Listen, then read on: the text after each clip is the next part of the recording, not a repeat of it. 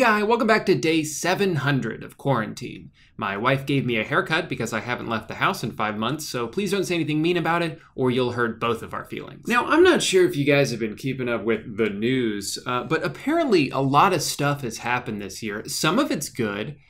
No, who am I kidding? It's all bad. Some of it, though, is just surprising.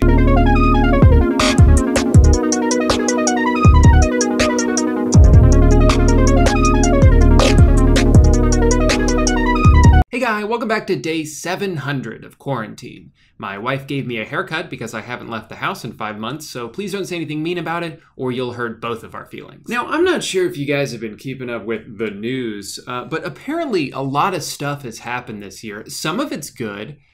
No, who am I kidding? It's all bad. Some of it, though, is just surprising.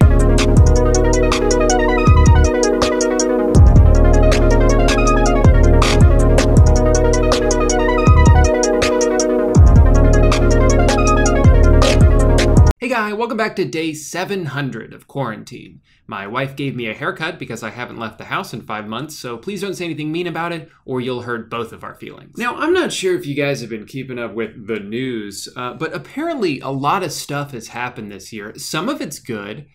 No, who am I kidding? It's all bad. Some of it, though, is just surprising.